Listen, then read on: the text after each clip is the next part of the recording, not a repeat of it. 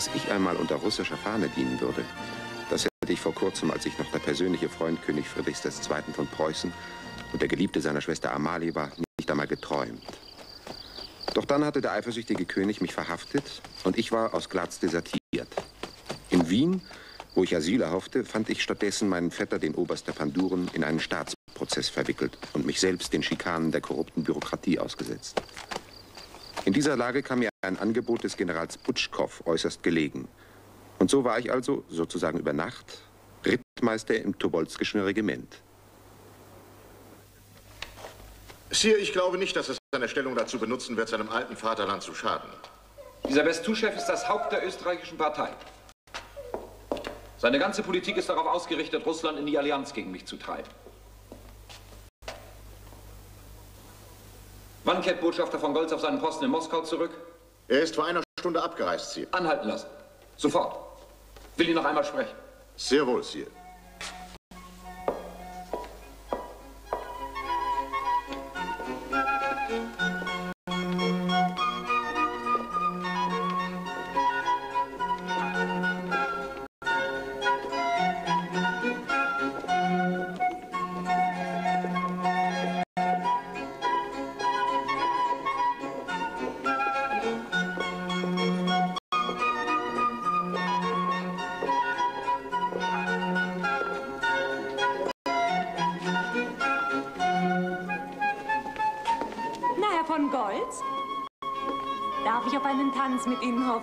Da haben Sie Pech, Madame. Denn der einzige Makel der Herrn von Goltz anhaftet ist, dass er nicht tanzen kann.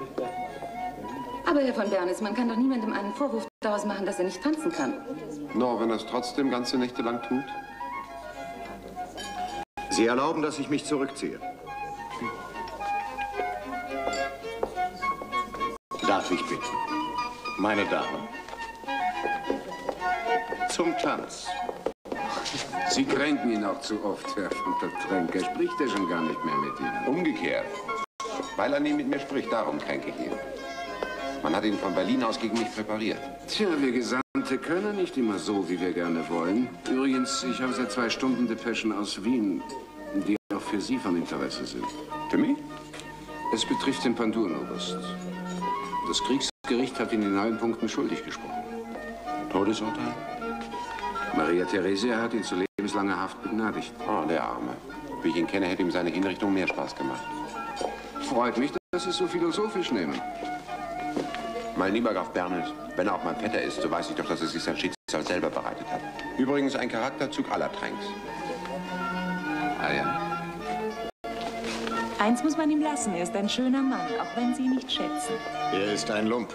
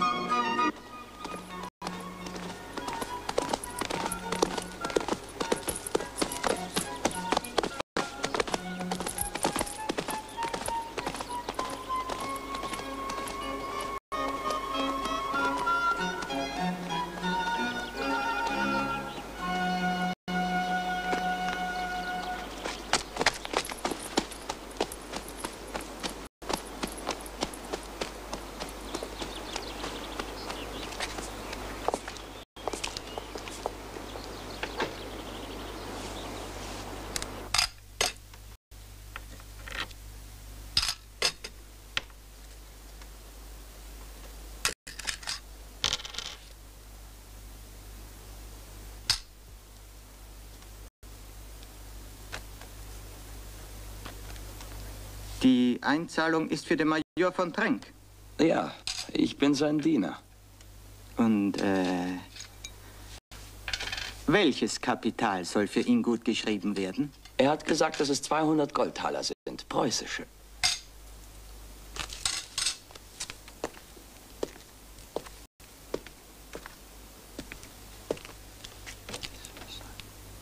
Die sind alle gleich? Alle gleich. Danke. Stimmt etwas nicht? Verhaften Sie den Mann. Verhaften? Was soll der Unsinn? Das wirst du gleich mit dem Richter besprechen. Verschlechtert? Abgefeilt. Jede Münze bis zu 25 Krähen unter ihrem rechten Gewicht. Wie lange hat sie ihr Diener in der Hand gehabt? Vor zwei Stunden, aber für Alexei lege ich meine Hand ins Feuer. In der Zeit kann man sie auch nicht fälschen. Von wem haben Sie diese Goldtaler bekommen? Ich habe sie Dulgoriki abgewonnen. Fürst Dulgoriki? Gestern Abend bei mir in der Wohnung. Der Fürst ist von einer Rechtschaffenheit, die schon sprichwörtlich ist. Trotzdem ist es, wie ich Ihnen sage. Tja, hm. diese Affäre ist nicht leicht zu nehmen. Exzellenz, 200 Taler. Dafür genügt schon ein einziger. Münzvergehen wird hier als eines der allerschwersten Verbrechen angesehen. Darauf steht Todesstrafe. Diese Münzen sind preußische Taler, Exzellenz. Darum betrifft dieses Verbrechen auch mein Land. Ich vermute, dass diese Taler aus einem väterlichen Erbe stammen. Herr von Goltz, dieses Erbe ist seinerzeit konfisziert worden. Aber nicht restlos. Soweit ich weiß, ja. Eine Frage, Exzellenz. Warum schützen Sie diesen Mann? Er ist ein Abenteurer. Er ist mein Sekretär und Offizier Ihrer Majestät. Er musste aus Wien fliehen, weil ihm die Polizei wegen Totschlags auf den Fersen war. Herr von Goltz, ich stütze mich in dieser Sache lieber auf eigene Informationen. Von denen ich fürchte, dass sie recht unvollständig sind. Ich weiß alles über. Wissen Sie aber auch, dass sich der Mann, dem Sie so sehr vertrauen, heimlich mit Ihrer Gattin trifft? Mein Herr!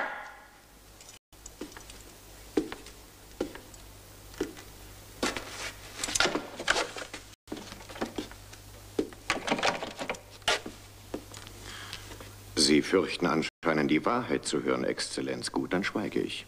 Ich verlange Beweise. Aber Exzellenz, ohne Beweise hätte ich diese Tatsachen nie erwähnt. Nein, mich zwingt die Infamie dieses Mannes dazu, der seinen neuen Wohltäter genauso hintergeht wie den früheren.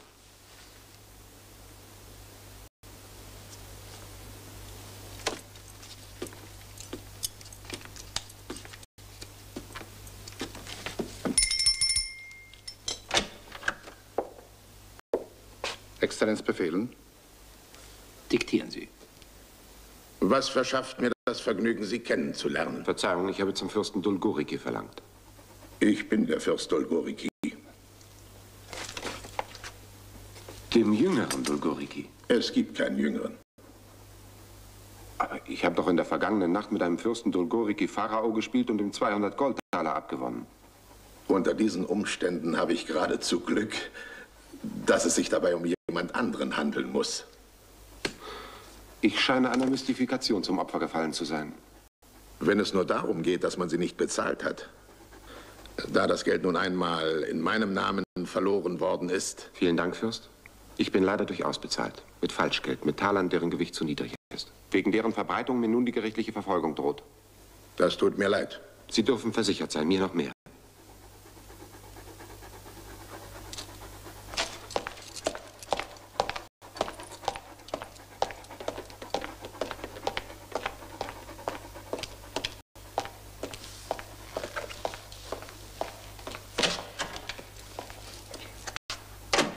Ich lasse ihm die Klute geben. Ich werde diesen Kerl vor Gericht bringen. Dazu habe ich das Recht. Sie haben sogar die Pflicht. Ja. Sie scheinen das sehr gelassen aufzunehmen. Sollte ich nicht? Immerhin haben Sie ihn protegiert. Nicht mehr, als er sein Talent verdient. Oder soll das etwa heißen, Sie hätten sich Ihren Sekretär aufschwatzen lassen gegen Ihre Überzeugung? Oder man hat mich getäuscht. Oder man täuscht Sie nun. Könnte das Ganze nicht eine infame Intrige der Preußen sein? Aha. Sie verteidigen ihn noch. Ich verteidige Sie. Die Kaiserin protegiert Tränk. Was wollen Sie in Ihrer Situation gegen den Günstling der Zarin unternehmen? Und was ist schon zu gewinnen, wenn man von 200 Goldtalern ein paar Krähen abfeilt? Glauben Sie, dass Tränk dafür seine Karriere aufs Spiel setzt? Es sind schon größere über weniger gefallen. Ein Abenteurer, ein Spieler. Sie haben es sich in den Kopf gesetzt. Bitte, niemand ist unentbehrlich, töten Sie ihn. Wird er vom Gericht für schuldig befunden, hängt man ihn auf. Gut, meinetwegen. Vorigen Sonntag, wo warst du da? Bei General Liefen, warum? Trenk war auch dort. Es waren viele dort. Im Pavillon wohl auch. Alexei, was soll dieses Verhör? Anastasia, ich habe dich durchschaut. Du ermunterst mich, ihm den Prozess zu machen, weil du hoffst, dass seine hochgestellten Gönner bei der Kaiserin Gnade für ihn erlangen werden. Aber vorher bringe ich ihn nach Sibirien. Da soll er verhungern, verrecken und verfaulen. Dieser Tat sind Sie nicht fähig.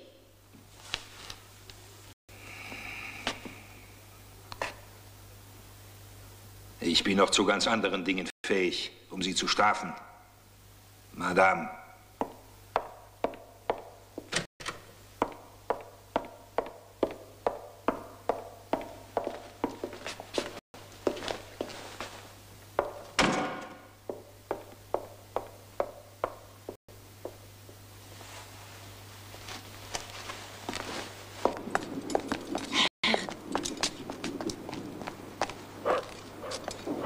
Hüten Sie sich, zu Ihrem Haus zu gehen.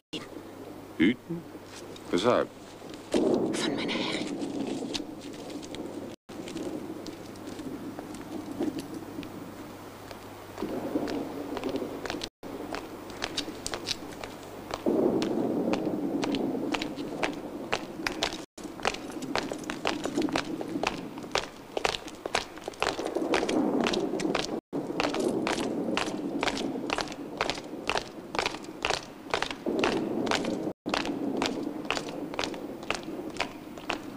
Abteilung, halt!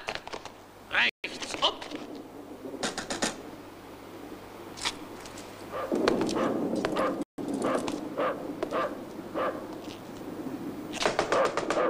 Was ist denn? Ich mach ja schon auf. Wohnt hier der Major von der Tränk? Ja, er wohnt hier. Jawohl. Gibt es einen rückwärtigen Ausgang? Den gibt es, jawohl. Drei Mann gehen mit ihm. Die anderen mit mir.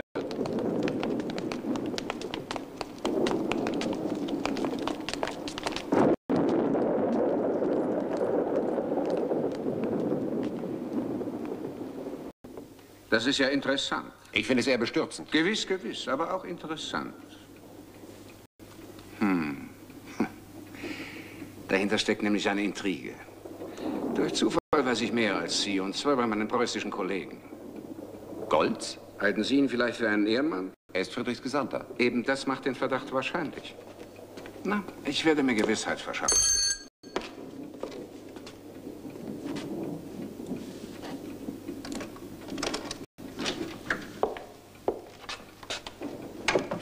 Lassen Sie anspannen. Sehr wohl, Exzellenz.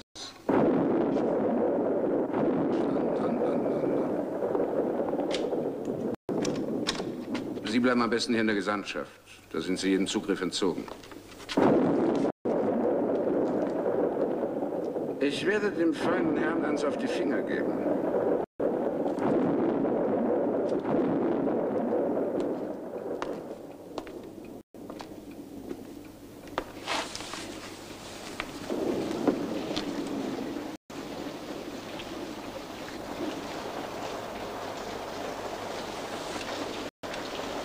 Sie müssen mir glauben, meine Herren, ich bin völlig schuldlos. Haben Sie sich vor zwei Wochen darüber beschwert, dass man Sie mit abgefeilten Goldmünzen betrogen hat?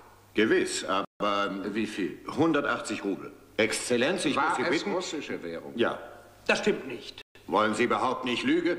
Ich erinnere mich genau. Sie sprachen ausdrücklich von 250 Preußentalern. Was im Wert ja in etwa den 180 Rubeln entspricht. Haben Sie dieses Geld einschmelzen lassen, wie es das Gesetz bei ungültigen Münzen vorschreibt? Diese Frage ist beleidigend. Nicht, wenn die offene Antwort ehrenhaft ist. Selbstverständlich habe ich es einschmelzen lassen. Hm. Gegen Quittung? Und bei der staatlichen Münze? Oder war es vielmehr so, dass Sie das Geld irgendjemandem überlassen haben? Und zwar zu einem bestimmten Zweck? Wenn Sie es nicht für nötig halten, mir dieses entehrende Verhör zu ersparen, Exzellenz, erlauben Sie mir, mich zurückzuziehen. Ich bedauere, Herr von Goltz. Sie scheinen zu vergessen, dass ich Ihnen auch schon Dienste erwiesen habe, Exzellenz. Ganz und gar nicht. Und ich bedanke mich aufrichtig dafür. Aber das eine hat mit dem anderen nichts zu tun. Dieses Verhör erfolgt auf allerhöchsten Befehl Ihrer Majestät der Zarin. Ich bitte Sie, meine Herren, die Form zu wahren. Gut, ich hasse Tränk. Aber ich hätte solche Mittel nie angewendet. Ihre Majestät glaubt es aber. Diese Verleumdung verdanke ich Herrn Bernes. Da irren Sie. Ich habe der Kaiserin nur berichtet, was der General mir berichtet hat. Tja, und ich habe meine Information aus erster Hand. Sie stammt direkt von Herrn František Bogumil. Ein polizeilich gesuchter Glücksritter, der sich bereits einige Male für den Fürsten Dulgoriki ausgegeben hat. Und den meine Leute festgenommen haben, als er die Stadt verlassen wollte. Mit gefälschten Papieren. Ausgestellt von der preußischen Gesandtschaft in Moskau. Also, Herr von Goltz? Der Schein spricht gegen mich. Hm. Hm.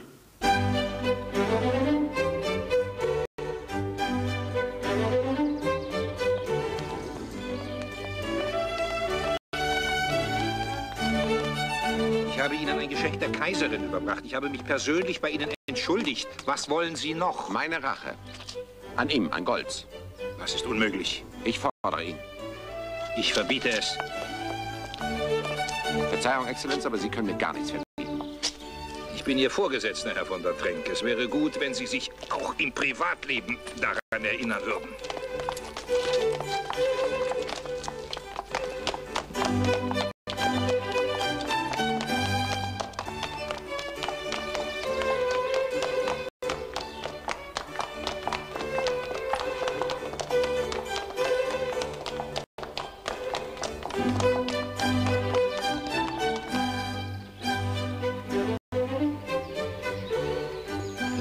Für die man sich unbedingt rächen muss, ich verstehe das. Aber man muss kühlen Kopf bewahren und auf die rechte Stunde warten.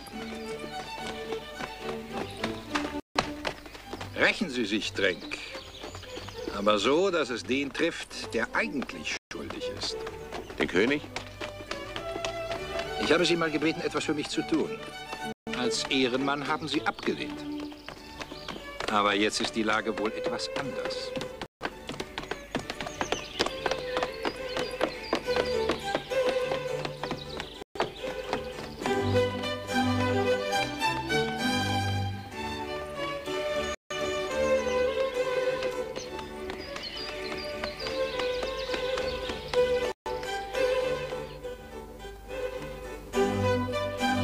Das nun auf dem linken oder auf dem rechten Ufer? Auf dem rechten. Auf dem Schäferberg. Das Vorwerk war damals gerade im Bau. Sie haben es nie fertig gesehen? Nein. Aber der Pionierobrist hat mich einmal gebeten, die Pläne durchzustudieren. Ich habe alles noch gut im Kopf. Ich denke, Sie waren als Gefangener dort. Ich stand mich mit den Offizieren gut. Außerdem galt ich als Experte. In Potsdam war ich unter 60 der Beste in diesem Fach. Ja, man merkt es. Dieser Friedrich bringt seinen Offizieren etwas bei. Sogar die Treulosigkeit. Exzellenz, ich glaube, wir werden bald eine exaktere Zeichnung von Glatz haben als der Preußenkönig selbst.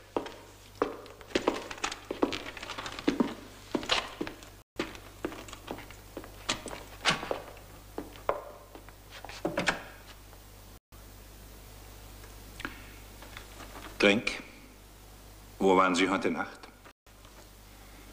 Ich hatte eine dringende Arbeit, wollte Sie rufen lassen. Sie waren nicht zu Hause. Für zukünftige Fälle hinterlassen Sie bitte die Adresse, wo man Sie erreichen kann. Ist das ein Befehl? Selbstverständlich eine Bitte. Und ich finde diese Bitte höchst merkwürdig. Ich bin kein Leibeigener, Exzellenz. Sie möchten nicht, dass ich erfahre, wo Sie Ihre Nächte verbringen. Und wenn es so ist? Sie übersehen anscheinend eine Kleinigkeit, Tränk. Mir untersteht auch der Geheimdienst.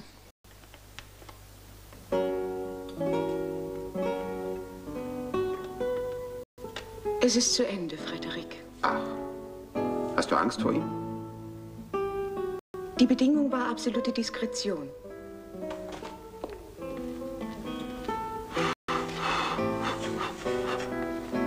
Niemand von uns hat sie gebrochen. Sie ist gebrochen.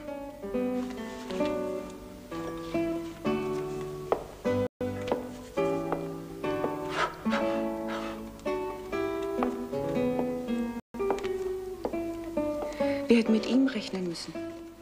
Mit Golds. Das war unser Fehler. Wer rechnet mit so einem? Zu spät.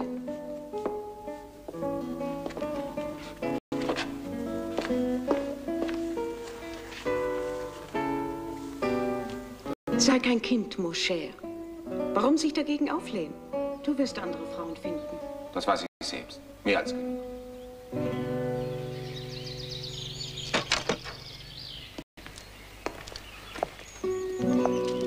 Aber darum geht es nicht. Sondern?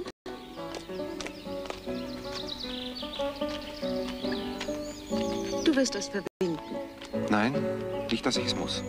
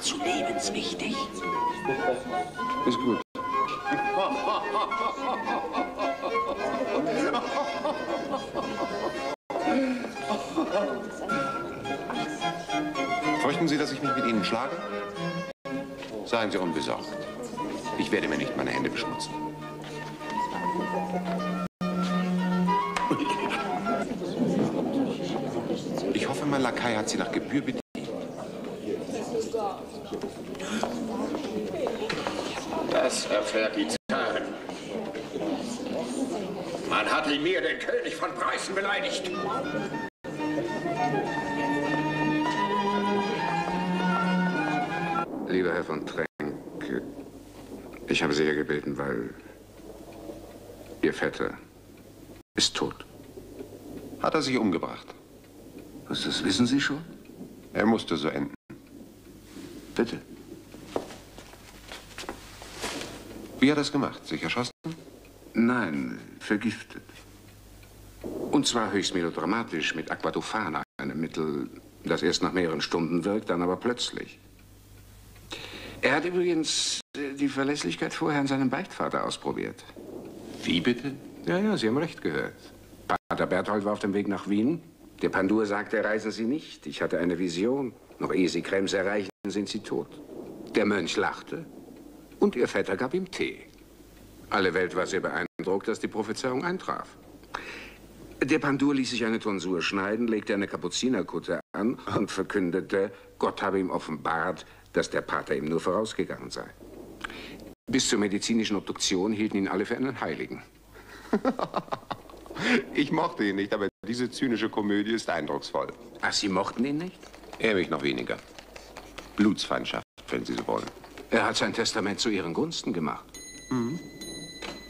Es handelt sich um einen Millionenbesitz.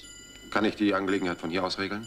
Nein, das Testament hat die Klausel, dass Sie keinem anderen Herrn dienen dürfen als im Hause Österreich. Danke. Von Wien habe ich genug, da gehe ich nicht nochmal hin. Es gibt Summen, Herr von Trenk, die zurückzuweisen unmöglich ist.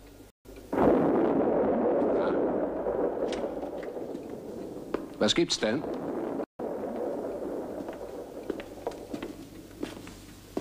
Eine Nachricht aus dem Kreml, Exzellenz. Es scheint wichtig.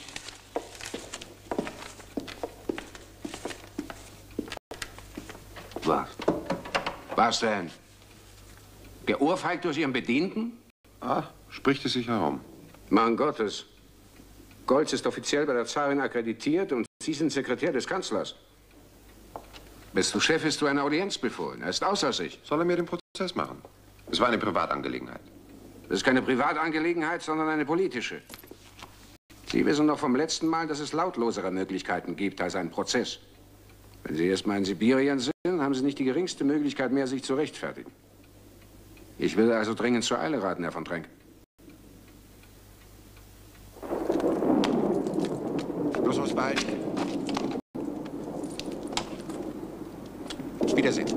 Aber es sind doch noch zwei Koffer Du da. kannst die Krabbel behalten. Ab, was das Zeug hält.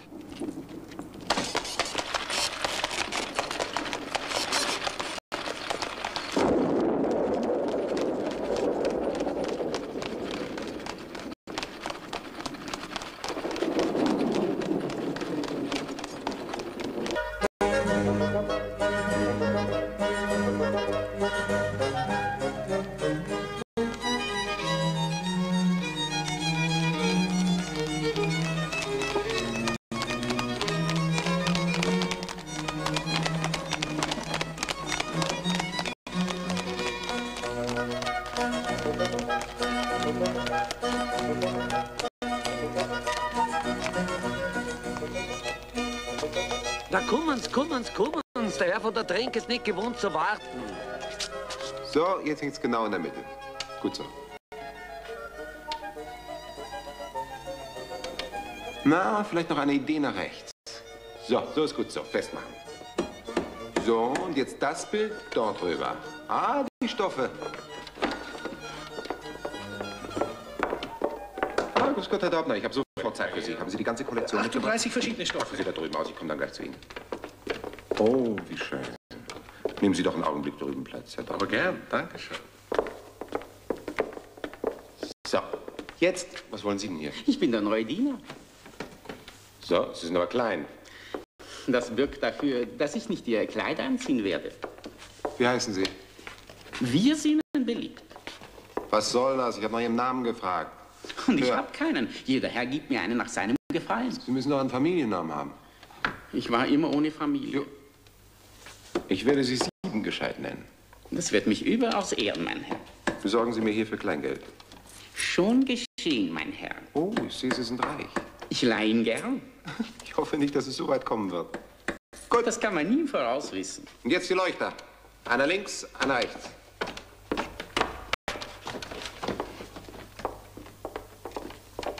Ich zahle Ihnen täglich 30 Kreuzer. Sie kleiden sich selbst, schlafen, wo Sie wollen und stehen jeden Morgen um 7 Uhr zu meiner Verfügung. Einverstanden?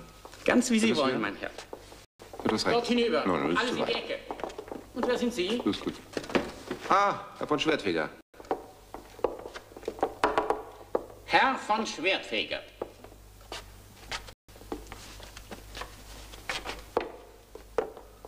Eine turbulente Sache, so eine Einrichtung. Sehr schön. Sehr schön. Sehr kostbar. Brüssel. Ja. Darf man fragen, womit Sie das alles bezahlen wollen? Bei der Erbschaft?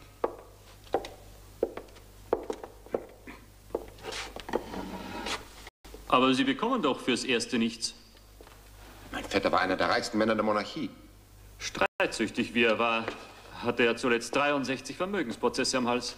Die müssen zuerst durchgefochten sein. 63. Und das in Wien. Wo ein ehrlicher Mann sein ganzes Leben braucht, um auch nur in einem sein Recht zu bekommen. Darf ich aufrichtig sein? Als er mir das Testament zu Ihren Gunsten in die Feder diktiert hat, hat er gesagt, ich sterbe in der Freude, dass ich meinen geliebten Vetter auch nach meinem Tod noch gehörig schikanieren darf. Der Teufel soll ihn holen. Das ist bereits vor einem halben Jahr geschehen. Aber das ändert ja nichts an der Situation. Fest steht, Das dass Sie in absehbarer. Zeit über das Erbe nicht verfügen können. Den Sessel auch. Den Korb ins nächste Zimmer. Zur Erberklärung vor den Hofkriegsrat zitiert und erschienen ist der Freiherr Friedrich von der Trenk etc. pp. Sie haben vom Testament des Pandurenobersten Kenntnis genommen? Ja. Hm. Und wie erklären Sie sich? Ich lehne die Erbschaft ab. Was? Bitte?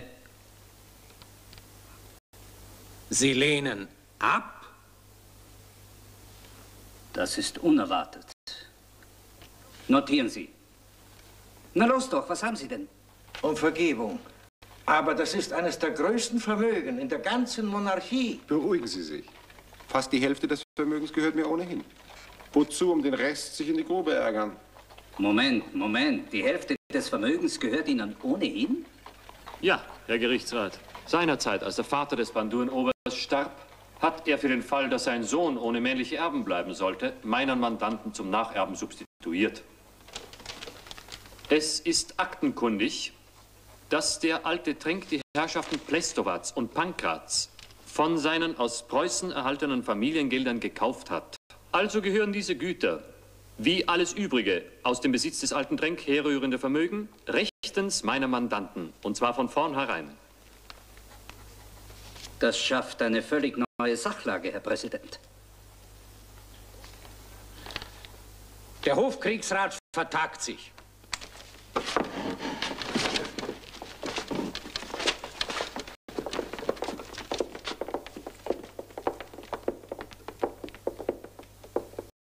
Würden Sie, lieber Freund, die Güte haben, mich äh, demnächst in meiner Kanzlei aufzusuchen, ja?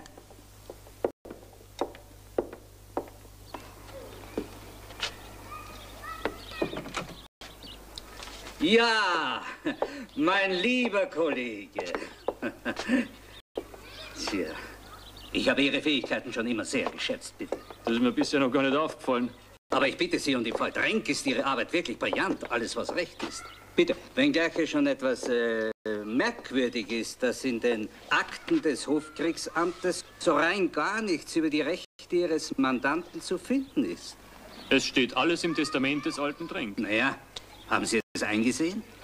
Nein, aber es muss ja seinerzeit ad exequendum hierher geschickt worden sein. Schon zehn Jahre her. Wir haben alles abgesucht, einen Tag und eine Nacht lang. Es ist also verschwunden. Eine unverzeihliche Schlamperei. Ich geb's zu. Der Alte ist in Leitmeritz verstorben. Dort bei den Akten muss ja noch eine beglaubigte Abschrift liegen. Ich weiß, ich weiß. Und äh, wir haben auch schon dorthin geschickt. Hören Sie zu, lieber Freund. Wir haben miteinander beratschlagt, die Herren vom Hofkriegsamt insgesamt, und wir finden es einfach ungerecht, dass Sie das harte Brot eines simplen Advokaten essen. Ich komme ganz gut zurecht, Herr Rat. Wegen Ihres Talents. Und weil Sie keine Feinde haben. Aber wenn Sie sich eines Tages äh, welche machten, hm? aber das brauche ich Ihnen ja nicht zu erklären, lieber Freund, dazu sind Sie viel zu begabt. äh, Sie könnten Beamteter Kollegienassessor werden. Hm? Ganz schöne Bezüge. Hm? Es ist gerade eine Stelle frei. Verschlammt? Ja. Das ist eine Ungeheuerlichkeit. Für die Herren vor allem sehr bequem. Ich werde den Kerl verklagen. Wen? Den Verantwortlichen. Kennen Sie ihn? Nein.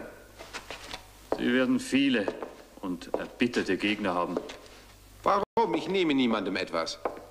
Auf den Gütern Ihres Vetters sitzen Treuhänder, Kuratoren, Administratoren, wie Fliegen auf dem Aas. Solange Sie die Erbschaft nicht angetreten haben, haben diese Herren die Nutznießung davon. Das wird nicht mehr lange sein. Sie müssen mir eine beglaubigte Abschrift des Testaments beschaffen. In Leitmeritz muss eine liegen. Ich wette 100 zu 1, es liegt keine mehr dort. Versuchen Sie, die Testamentszeugen zu finden. Mindestens zwei müssen einen Eid leisten. Besser drei.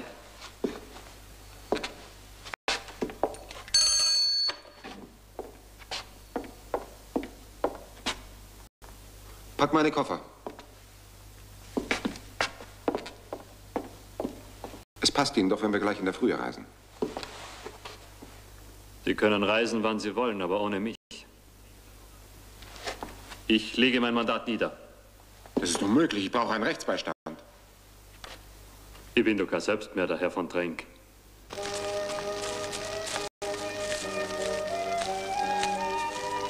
Etwas Selbstmörderisches hatte meine Reise wirklich. In ganz Slavonien schien es keinen Wagen und kein Pferd zu geben. Jedenfalls nicht für einen von der Tränk. Wir bekamen kein Obdach, nichts zu essen, zu trinken. Und selbst die uninteressierte Natur schien sich verschworen zu haben, uns an das Gemüt zu gehen. Die Wälder verkommen, verlottert, die Felder leer, die Ernte geraubt, der Boden verbrannt, das Vieh von den Weiden gestohlen.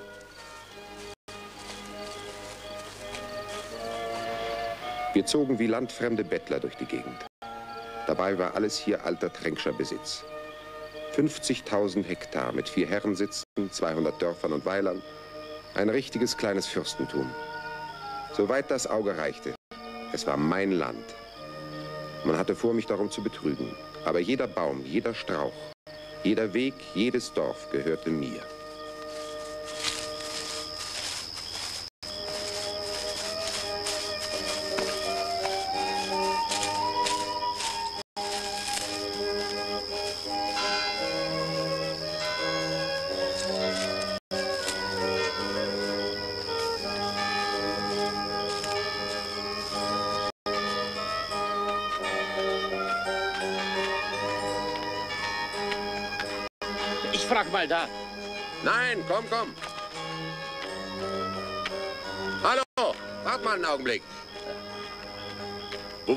Dorfschulze?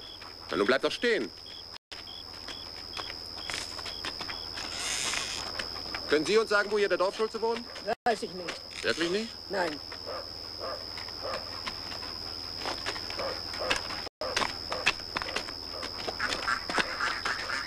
Vielleicht der.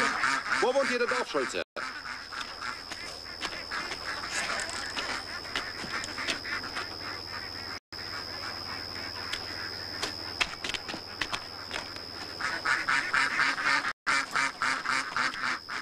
Die bloß alle, Herr. Vielleicht ist es das große Haus da drüben.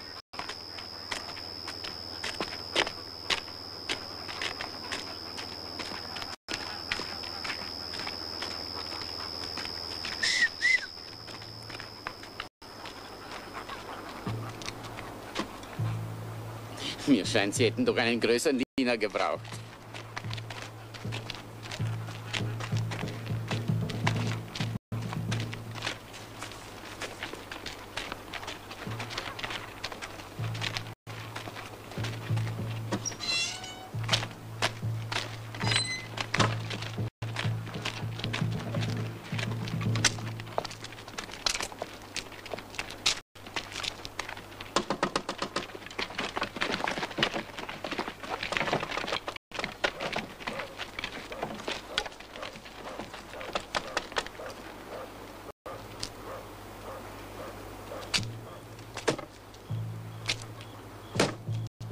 Einen Augenblick.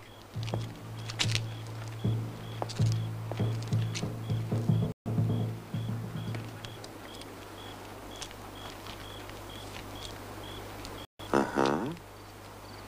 Ich glaube, ich muss besser auf mein Geld aufpassen.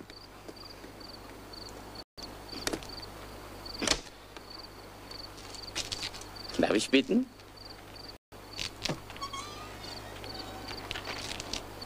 Ich äh,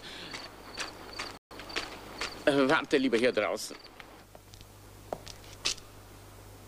Sind Sie der Dorfschulze? Ja. Weshalb öffnen Sie nicht?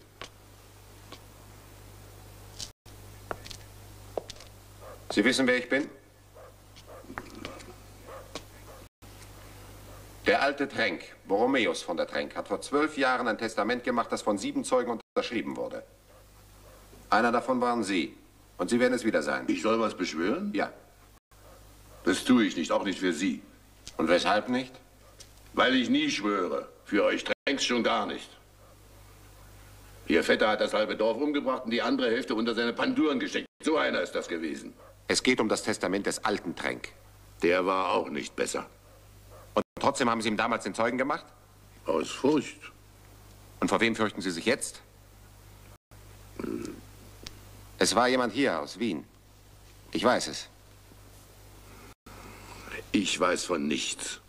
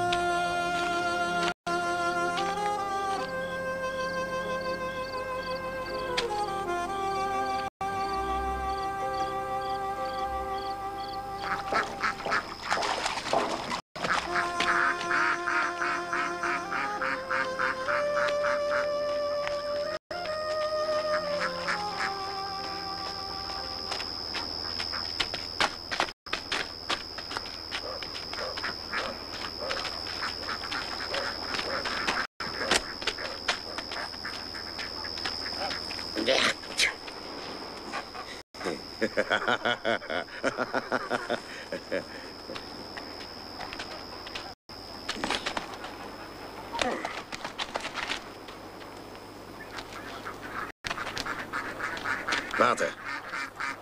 Wo willst du die Wunde haben? Auf der linken Backe oder auf der rechten? Gerade krumm oder kreuzweise? Sag schon. Schlagen sich! Er, Jaroslav und der Fremde! Zeig's ihm! Lass dir nichts gefallen, Herr! Er ist von der Tränk! Von der Tränk? Väter des Panduren-Obersten. Woher weißt du, dass es ein von der Tränk ist? War mein Dorfschuldner. Der hat's gesagt. Du hast keine Chance mit dem Messer. Damit? Damit habe ich schon ein Dutzend erstochen.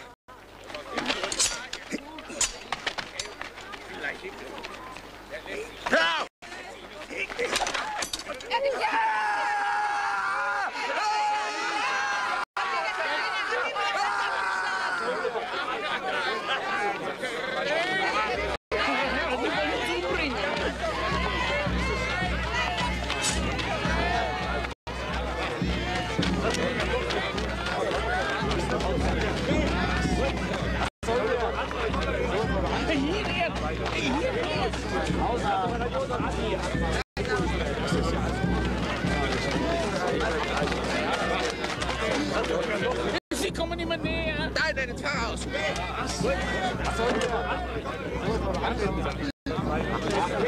Hier ist eine Tür.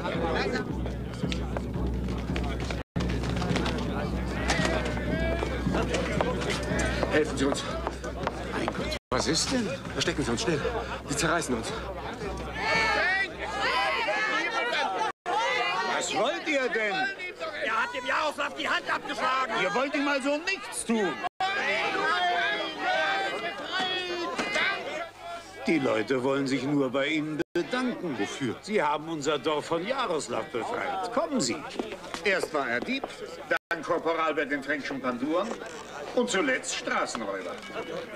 Der Kerl hat die Bevölkerung gequält. Er hat alle so tyrannisiert, dass niemand mehr wagte, auf die Felder zu gehen. Kommen Sie. Das ist der von der Tränk.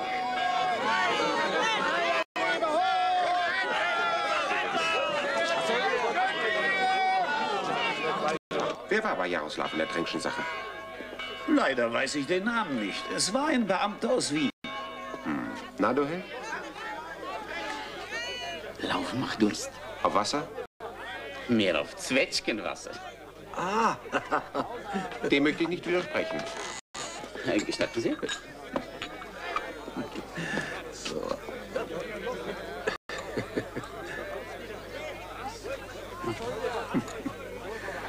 Also, auf Ihr Wohl. Danke. Herr von Trenck geruhen wieder einmal im Lande zu sein. Sehr gnädig von Ihnen. Exzellenz, vergessen, dass ich zu meiner Reise gezwungen war. Dank den verbrecherischen Machenschaften Ihrer Behörde. Ich bitte den Herrn von Trenck, sich zu mäßigen. Oh, ich habe mich gemäßigt. Sonst hätte ich gesagt, dank den verbrecherischen Machenschaften und Ihrer... Bitte, mein Herr. Bitte, Herr Gerichtsrat, wir wollen doch kein kleinliches Gezänk. Und Sie, Herr von Trenck, werden sich noch eine Haftstrafe einhandeln, wegen Ungebühr. Also, haben Sie mit Ihrer Reise Erfolg gehabt? Haben Sie zwei gültige Eidesleistungen mitgebracht? Nein. Ich habe sogar fünf. Da gratuliere ich, Herr von Trenck. Danke. Man wird die Dokumente prüfen. Und wie lange Zeit wird das in Anspruch nehmen? Herr Gerichtsrat? Man wird die Sache mit möglichster Eile betreiben. Ich bitte darum. Also vier, fünf Monate. Das ist Verschleppung. Ich denke nicht daran, meine Zeit zu vergeuden, Herr Präsident. Wir arbeiten so rasch, wie eine Behörde nur arbeiten kann.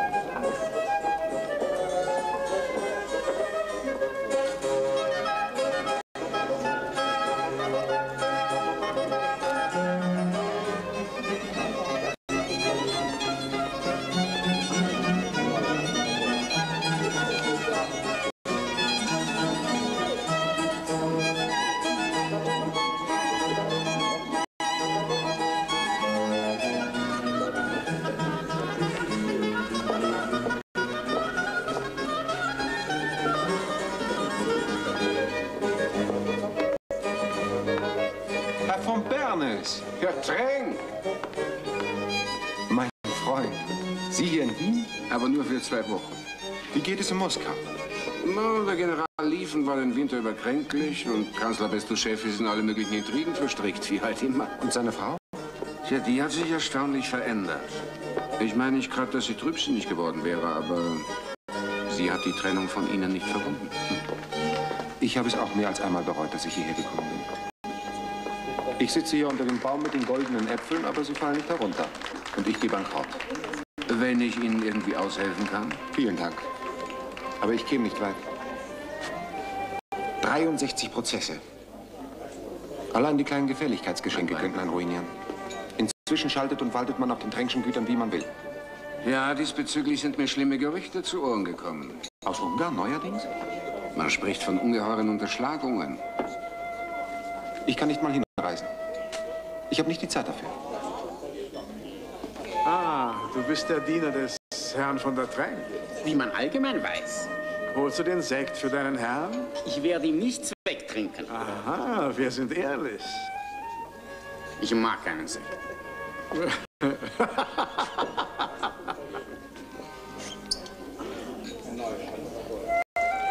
Das wird eine besondere Flasche. Eine erlesene Sorte. Eine kleine Reserve für Kinder. Nicht für jeden. Ich hoffe, dass er ihm schmeckt.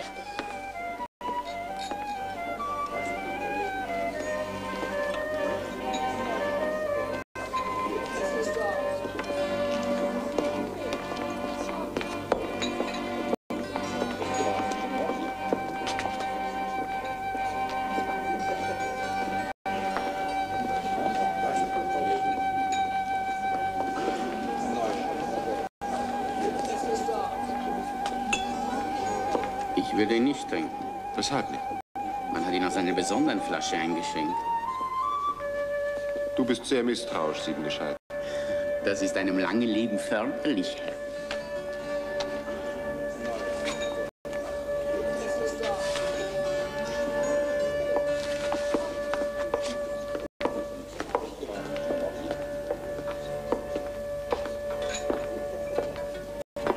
Ja, der Herr von der Therese. Ist der? Jo, Pussili, Pussili. Hat Ihr Baron Pussy immer noch die alte Vorliebe fürs Exquisite? Ja, Champagner ist eine ganze Seligkeit. Sie werden doch nicht wirklich befürchten. Hier in Wien? Na komm, trink doch, Herzl. Das schmeckt.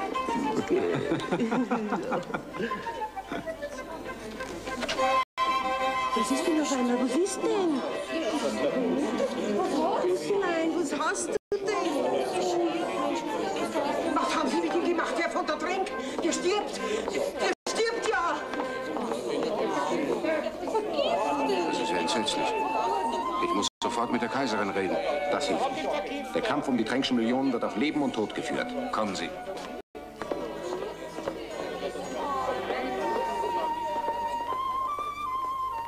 Ein Trauerfall? Meine Mutter, ja. Oh, das tut mir leid. Naja, so alt man auch ist, es ist immer ein harter Schlag. Erben Sie? Nein, mein Vermögen in Preußen ist konfisziert. Aha. Übrigens trage ich schwer genug an meiner hiesigen Erbschaft, Majestät. Ja, ja, ja. Sie dürfen sich das nicht so zu Herzen nehmen, das. Unsere Wiener Schlamperei. Sie wissen eh, wie das hier so ist. Wenn es nur um die Schlamperei ginge. Ah ja, der Graf Bernes hat mir was von einem Mordanschlag erzählt. Man gewöhnt sich daran, Majestät. Ja, ich werde mich um die Sache mal kümmern. Befehlen Sie die Kuratoren des Drängschen Vermögens zu einer Sonderaudienz übermorgen. Außerdem werden keine geduldet. Sagen Sie das. Sehr wohl, Eure Majestät. Die Geschichte wird in Ordnung gebracht. Danke, Majestät. Ja, hoffentlich reichen die Spargroschen meines Dieners so lang. Von denen lebe ich nämlich zurzeit. Ja, ja, ich, ich habe da ein Patent vorbereiten lassen. Ja. Ja, wo ist es denn schon wieder? Ich soll mich nicht über die österreichische Schlamperei beschweren, was? Ja. Sie waren Major in Russland, glaube ich. Jawohl, Majestät. Tja, da war keine Vakanz, leider. Aber bei der nächsten Gelegenheit werden Sie befördert. Ja, ich verspreche es Ihnen, Herr Rittmeister von der Tränk. Regiment Cordova. Ja, gerade kein Elite-Regiment, ich weiß. Ich kann es mir nicht leisten, wählerisch zu sein. Gut. Sonst noch ein Wunsch? Ja, wenn ich Sie um Urlaub bitten dürfte. Na? Ich weiß, es ist nicht gerade sehr üblich, noch vor Dienstantritt rumzubitten, aber... Ja, aber... Zu was brauchen Sie denn? Ich will mich mit meinen Geschwistern treffen. Der Tod meiner Mutter. Ich denke, Sie dürfen immer nach Preußen hinein. Wir treffen uns außerhalb Preußens in Danzig. Ah ja, ist schon recht. Genehmigt, Herr Rittmeister von der Tränk. Danke, Majestät. Also es war wirklich zu peinlich. Die Kaiserin war direkt außer sich. Richtig abgekanzelt hat sie uns. Ja, der Tränk muss weg. Dieser Mann ist zuverlässig? Absolut. Aber deshalb bin ich auch nicht billig, Exzellenz. Nun, nach erzieltem Erfolg? Schon die Vorbereitungen kosten viel Geld, Exzellenz. Wie viel? Ein Viertel des gesamten Honorars. Wie viel ist uns wert? Ich habe an 100.000 gedacht. 150. Nicht zu machen. Ach, streiten wir uns nicht um Kleinigkeiten. Was haben Sie vor? Das Tränksche Familientreffen findet an einem Ort statt, der für alle Teilnehmer bequem zu erreichen ist. In Danzig. Na und? Von dort wollte man Tränk schon mal entführen. Die Stadt ist vom preußischen Gebiet umschlossen. Es wäre vielleicht nicht unelegant, wenn wir den Preußenkönig selbst diese Arbeit für uns tun ließen. Ja, droht ihm denn in Preußen wirklich Gefahr? Nach seiner Flucht aus der Festung Glatz ist ein Kriegsgerichtsurteil ergangen. In absentia. Zu wie vielen Jahren? Zum Tod. Oh. Aus Wien irgendwelche interessanten Neuigkeiten, Majestät? Welche unserer Festung ist am sichersten? Für einen Gefangenen. Ja, Glatz, so viel ich weiß. Glatz? Es ist von dort noch nie, bis auf den Tränk. Aber sonst noch nie von dort eine Flucht geglückt, Majestät. Und was mit Spandau? Na, nicht besonders sicher, Sire. Magdeburg? Ja, Magdeburg, ja, Sire. Gedenken Euer Majestät, die Kaiserin Maria Theresia festzusetzen? Ich darf daran erinnern, dass zurzeit Frieden ist, Majestät. Wenn ich will, dass gescherzt wird, scherzt sich selbst General von Bock. Wer ist der Festungsbaumeister? Griebenstedts hier. Veranlassen Sie, dass er zu mir kommt. Jawohl, Sir. Brauchen Sie mich noch, Sir? Seien Sie doch nicht immer gleich beleidigt, Bock. Sie kennen mich doch. Bitte. Danke, Sir. Wie geht es eigentlich der Prinzessin Amalie? Sie kränkelt, Sir. Hat sie immer noch die Marotte mit der Anatomie? Sie versucht, die Wissenschaft der Medizin zu studieren. Leichen zerschneiden. Une fée malfaisante. Und sie war immer ein so lustiges Geschöpf. Was aus den Menschen so wird, wenn sie altern. Wenn Sie freudlos altern, Sir. Sie wollen sich revanchieren wegen vorhin, wie? Zitieren Sie den Grebenstedt. Eilig. Sehr wohl, Majestät.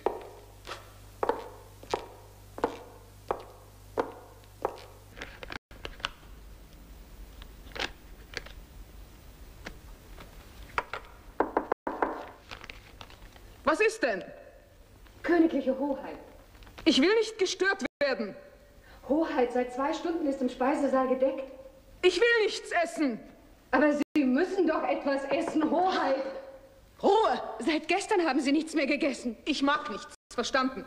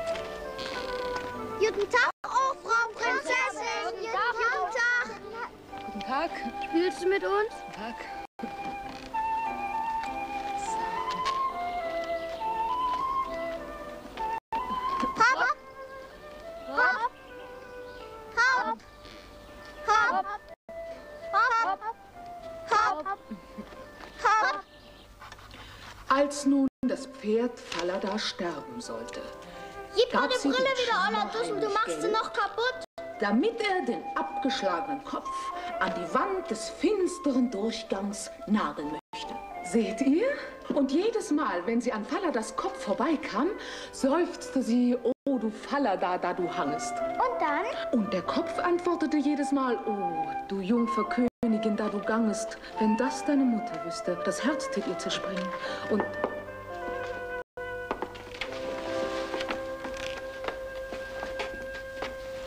Es werden immer mehr, wie? Wie viele sind es jetzt? Es sind 17. Na, wir haben Glück gehabt, dass du nicht auf streunende Hunde verfallen bist. Der Kleine da ist drollig. Und komm mal her. Was willst du denn mal werden, wenn du groß bist? Hm? Weiß ich noch nicht. Soldat? Nee, da werde ich schon lieber Pasta. Vielleicht hast du sogar recht. Mhm. Geht so lange in den Speisesaal hinüber. Gibt's heute früher was zu essen? Nee, wir sollen nicht Los, hören, komm was schon wir rüber in reden. den Speisesaal.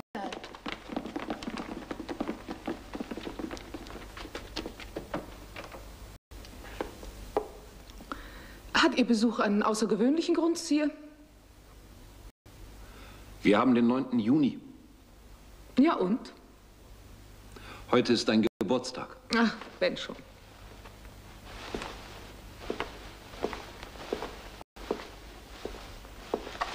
Wir haben uns einmal geliebt, Amelie. Ich erinnere mich kaum noch an diese Zeit. Kannst du Tränk nicht vergessen?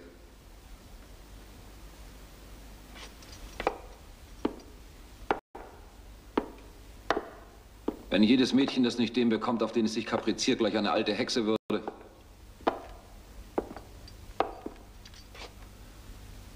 Amelie hat uns vergessen. Dich und mich. Ich habe ihn acht Jahre lang gejagt. Ich weiß. Jetzt werde ich ihn bekommen. Und was wirst du mit ihm machen?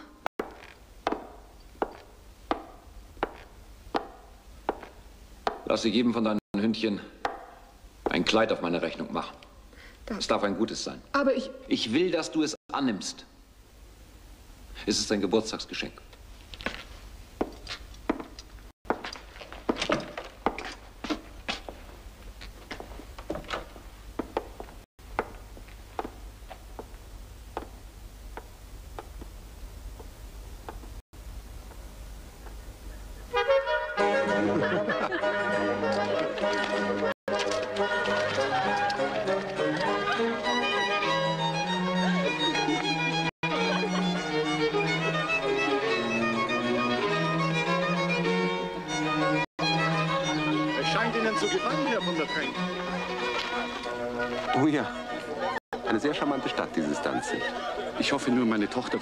Rest von Standhaftigkeit bewahren können.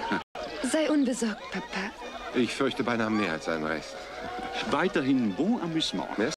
Kommen Sie, Herr von der Trenk. Vorsicht, jetzt fällst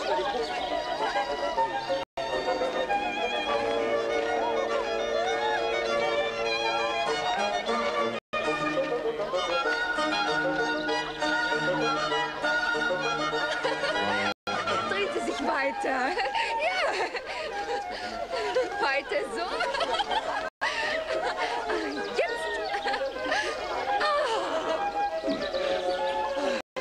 Sie sind eine zu gehorsame Tochter Fräulein von Abramson.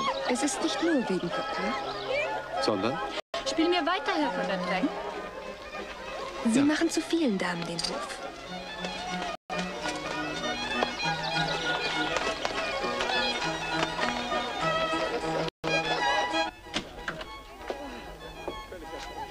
Darf mich auf keinen Fall hier sehen. Er kennt mich vom königlichen Hof.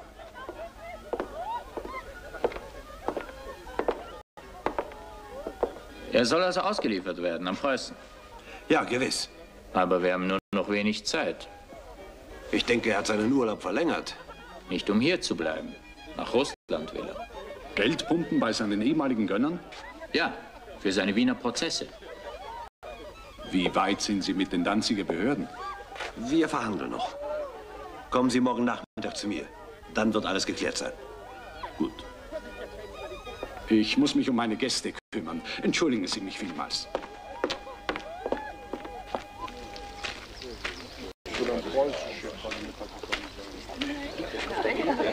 Herr Gesandte, bitte zu Tisch. Der Rat der Stadt Danzig macht Schwierigkeiten. Trenk ist jetzt Österreicher. Ach was, ich garantiere, dass man darüber hinwegsehen wird. Als Gesandter Österreichs. Wir müssen ihn entführen. Ich habe gute Beziehungen zum Hafenmeister. Wir brauchen ein Schiff, ein schnelles. Wissen Sie eins? Tja. Einen schnellen Segler? Den kann ich Ihnen besorgen. Er hat die Passage nach Russland auf einem schwedischen Schiff gebucht, das Montag früh ausläuft. Dann geht er schon Sonntag an Bord. Ja. Man muss ihn in der Nacht noch einmal von Bord locken. Wie wollen Sie das machen? Er ist doch kein Idiot. Ich glaube, ich weiß, wo er sterblich ist.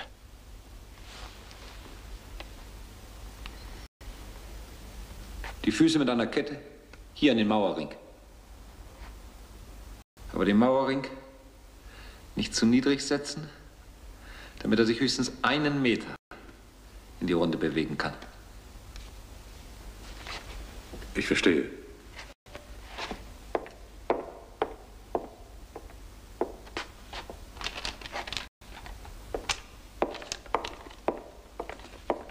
Dann so handbreit einen Reif an den Körper. Nicht verschließbar, sondern am Körper zugeschmiedet. Und dann eine kurze Kette und daran eine Stange mit zwei Schellen daran. Zum Einlegen der Handgelenke? Ganz recht. Ich verstehe. Das Halseisen am besten ebenfalls mit der Kette verbinden. So etwa. Vielleicht mit einem gleitenden Ring. Das ist alles sehr ausgeklügelt. Ich brauche es in spätestens zwei Wochen, Grebenstedt. Das ist unmöglich, Majestät. Sie bekommen Arbeitskräfte, so viel Sie benötigen. Die Arbeit lässt sich bewältigen, Sir, aber der Bau braucht eine Trocknungszeit, ehe er benutzbar ist. Majestät, verzeihen, die Wände sind zwei Meter dick. Der Raum hat so gut wie keine Belüftung. In dem Mauerdunst hält es kein Mensch auch nur zwei Wochen aus. Wir sind alle sterblich, Grebenstedt.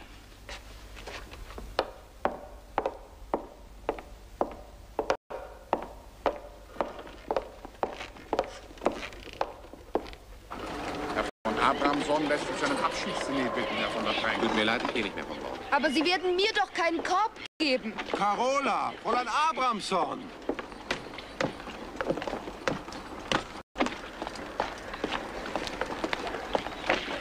Überrascht? Äußerst angenehm überrascht. Ich konnte heute Nacht nicht schlafen. Ich habe mir vorgestellt, wie es sein wird, wenn Sie nicht mehr hier sind. Sie werden mir fehlen. Bedauern Sie mich. Ich beglückwünsche mich, Carola. Ja, wirklich, Herr von der Trick? Das Einzige, was ich bedauere, ist, dass Sie Ihre Entdeckung erst zu spät gemacht haben, Fräulein von Abramson. Zu spät? Nein, nicht zu spät. Oder wozu sind Sie gekommen? Ich weiß, dass es sich nicht schickt. Sie haben einen sehr entschlossenen Charakter. Zwei Wochen lang habe ich Ihre Standhaftigkeit zu spüren bekommen.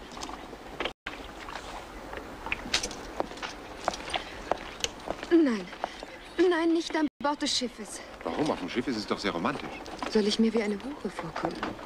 Nein, Sie haben recht. Wann wird Ihr Schiff den Hafen verlassen? Morgen früh um 5 Uhr in 10 Stunden. Nein, in 11 Stunden. Ich weiß, dass mir der Abschied von Ihnen dann noch schwerer wird. Bitte, entscheiden Sie.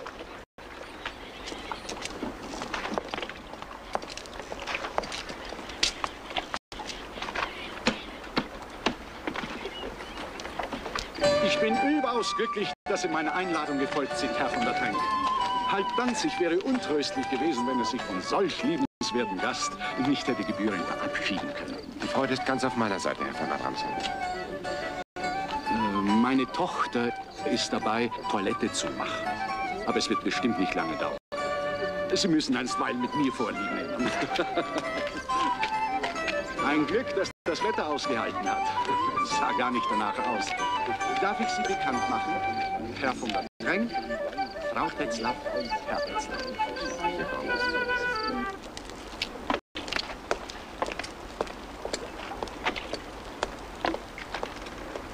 Kapitän Johansen!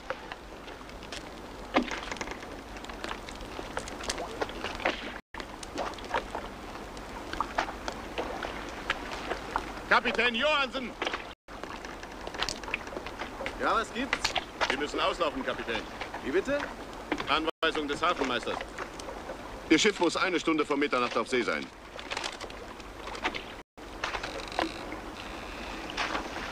Aber es fehlen doch noch vier Mann von der Besatzung. Es wird auch ohne Sie gehen.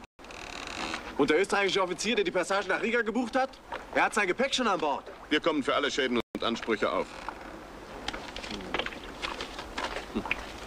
Das ist aber alles höchst ungewöhnlich. Man hat seine Gründe. Der Magistrat verfügt über das uneingeschränkte Hafenrecht, Herr Kapitän. Also gut. Ich lege ab.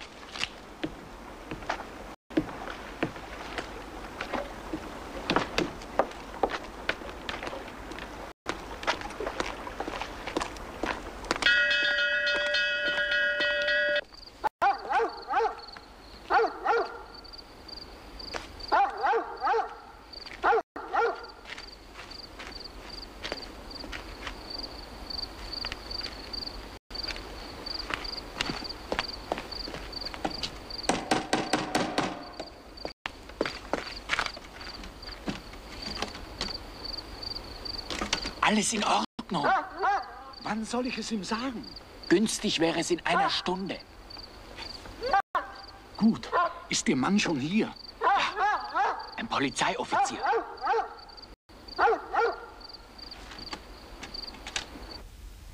Bereust du es? Bereuen?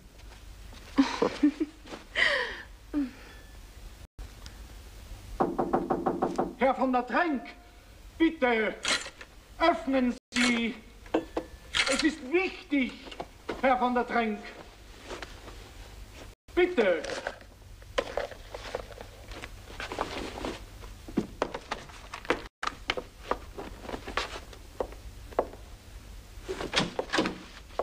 Herr von der Trenk, eine äußerst fatale Geschichte. Ihr Schiff ist weg. Weg? Ja. Das Schiff musste unvorhergesehenerweise früher ablegen.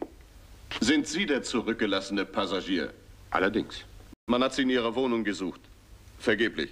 Wir werden bestimmt einen Ausweg finden. Ich habe im Hafen ein eigenes Schiff liegen. Sie haben ein Schiff? Die Libelle, ein Kauffahrer, aber sehr schnell.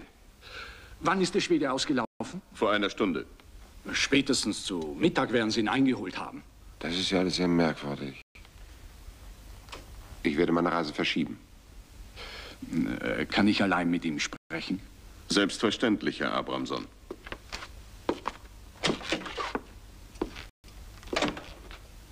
Herr von der Trenk, dies ist das Zimmer meiner Tochter.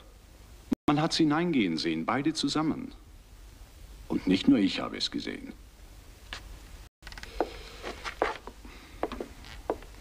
Ich bin kein Puritaner, Herr von der Trenk. Aber Ihr Gepäck ist auf See, ebenso Ihre gesamten Papiere. Man wird sie also suchen. Wenn Sie später reisen, ist die Affäre nicht mehr aufzuhalten. Und der Ruf eines jungen Mädchens ist perdu. Ja, ich verstehe. Ich danke Ihnen, Herr von der Trank. Ich habe Ihnen zu danken, Herr von Abramson.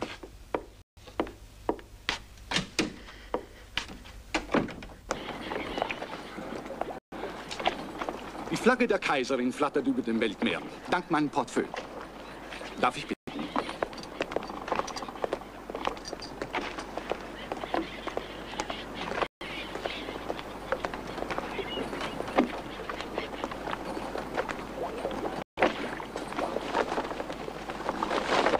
Ich habe veranlasst, dass man Ihnen noch eine Flasche Rotwein in die Kajüte bringt. Oh, danke.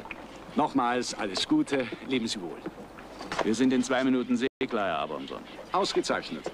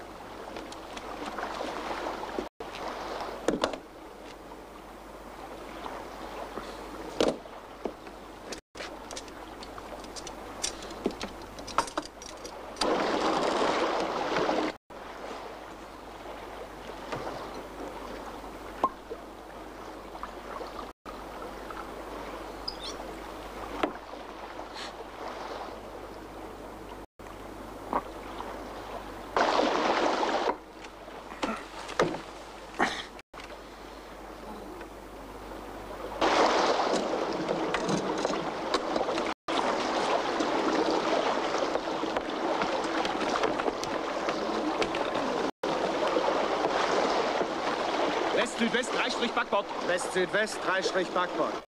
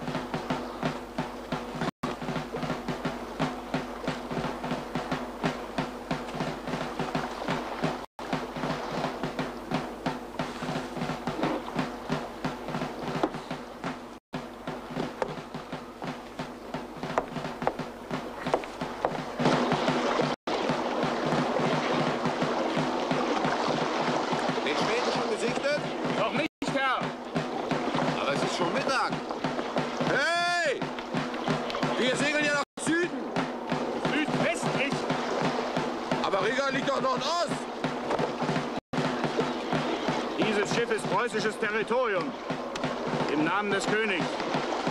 Sie sind mein Gefangener, Herr von der Trenk.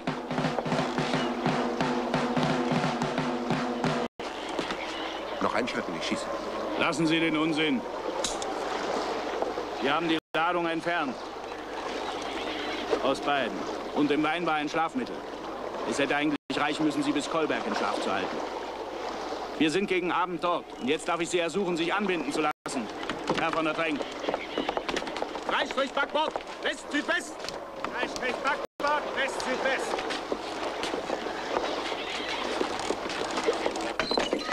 Der Gefangene ist sofort von der Durchlaucht vorzuführen. Durchlaucht? Wer kommandiert den Kolberg? Seine Durchlaucht der Herzog Friedrich Eugen von Württemberg. Das ist Entführung, Durchlaucht. Ich weiß. Ein arglistiger, gemeiner Lumpenstreich. Ich sagte doch schon, ich weiß. Es ist keineswegs nach meinem Geschmack, dass ich dazu meine Hand leihen soll. Andererseits ist der König von Preußen mein Dienstherr. Immerhin, solange Ihre Reise durch Gegenden führt, wo meine Regimenter in Garnison stehen, haben Sie nur die beste Behandlung zu gewärtigen. Ihnen das zu versichern, habe ich Sie hergebeten. Ich danke, Durchlaucht. Die kaiserliche Uniform wird mich schützen. Verlassen Sie sich nicht zu sehr darauf. Was erwarten Sie denn selbst von Ihrem Schicksal? Gerechtigkeit. Ich habe nichts getan. Sie wissen, dass nach Ihrer Flucht aus Glatz ein Kriegsgerichtsurteil gegen Sie ergangen ist. Mein Gott, Durchlaucht, das ist schon so lange her. Als gehört es zu einem anderen Leben. Wozu denken Sie, hat der König Sie entführen lassen? Vielleicht will er mich schrecken. Ich könnte ihm manche Auskünfte geben. In Moskau habe ich zum Beispiel die Korrespondenz des Kanzlers Bestuschew geführt. Ich kenne sämtliche Intrigen seiner antipreußischen Politik. Die Sie mitgesponnen haben? Ich war Offizier der Zarin und Sekretär des Kanzlers. Heimatlos, mittellos. Der König ist gerecht. Sie haben ein optimistisches Temperament. Übrigens, Ihre Flucht damals aus Glatz war bravourös. Hat mir gefallen. Ab.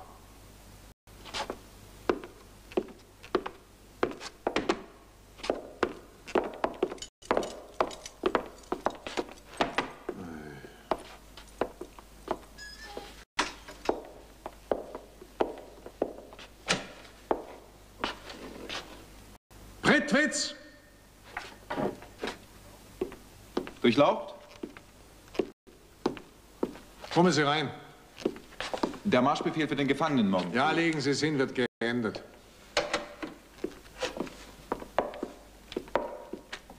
Prittwitz, Sie übernehmen morgen den Transport des Gefangenen. Persönlich. Zu Befehl, Durchlaucht. Fahren Sie ohne Bedeckung. Nur Sie und er. Schaffen Sie eine Gelegenheit. Aber- ich weiß, was Sie sagen wollen. Ich komme aus Magdeburg. Ich weiß, was Ihnen bevorsteht. Der Mann ist ja so arglos. Das war ein Befehl, Leutnant von Prittwitz. Wenn Sie Schwierigkeiten bekommen sollten, decke ich Sie, ist das klar? Also machen Sie es gut. Zu Befehl, Durchlaucht. Hm.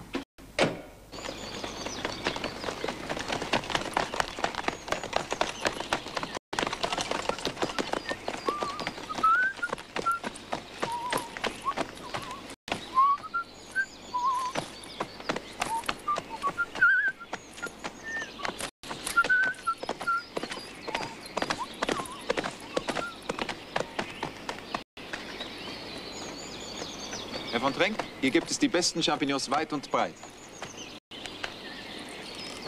Champignons? Ah ja, wir hatten zu Hause immer sehr viele davon. In der Stadt, äh, in der Stadt bekommt man sie nicht. Meine Mutter hat mich oft gebeten, ich soll ihr welche sammeln. Aber man kommt ja nie dazu bei diesem Dienst. Meine Mutter pflegte sie immer reichlich Butter abzubräunen. Mit Petersilie und ich glaube ein bisschen Majoran. Mm, mir läuft das Wasser im Mund zusammen. In zehn Minuten haben wir einen ganzen Hut voll zusammen. Komm. Sie warten bitte hier auf mich. Ja, gern.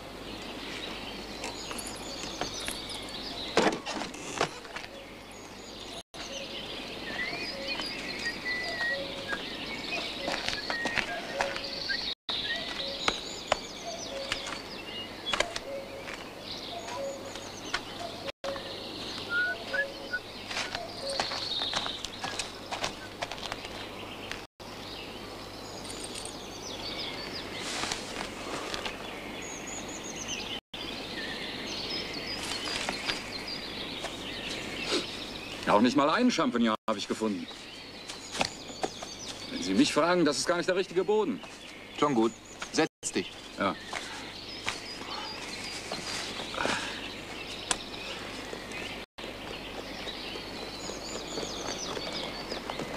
Wird die Postkutsche von Stargard sein.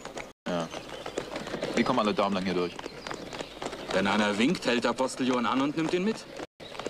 Ja. Wie lange fahren wir noch bis nach Stargard? Drei, vier Stunden. Bis sieben Uhr müssen wir dort sein. Los.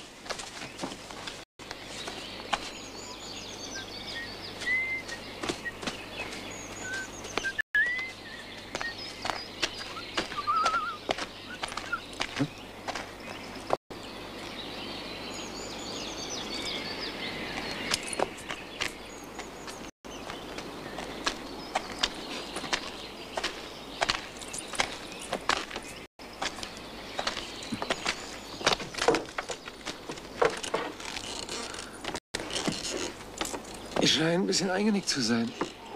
Ja, es scheint. Na, was hätten Sie gemacht, wenn ich davongelaufen wäre? Es kam ein Postwagen vorbei. Außerdem stand noch die ganze Zeit Ihr Pferd da. Geben Sie zu, es war etwas leichtfertig von Ihnen. Haben Sie Champignons gefunden? Nein. Morgen gehen Sie in die Eskorte des 1. Infanterieregiments über. Und werden auf die Festung von Magdeburg gebracht. Wo man vermutlich etwas weniger leichtfertig mit Ihnen umgehen wird. Los! Ich hatte den entscheidenden Augenblick meines Lebens verpasst. Deshalb war ich nicht geflohen.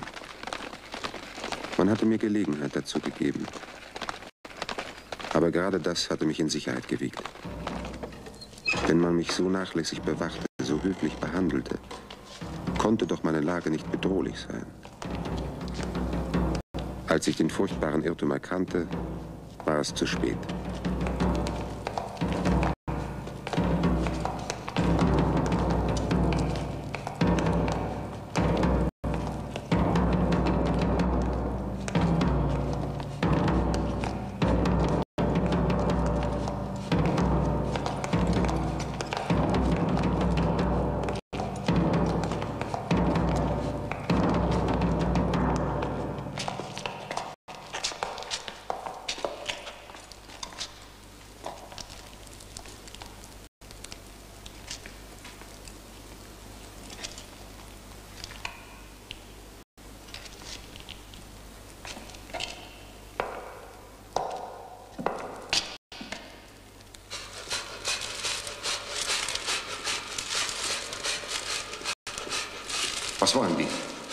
Ziehen Sie Ihr Hemd aus. Sie werden angeschmiedet.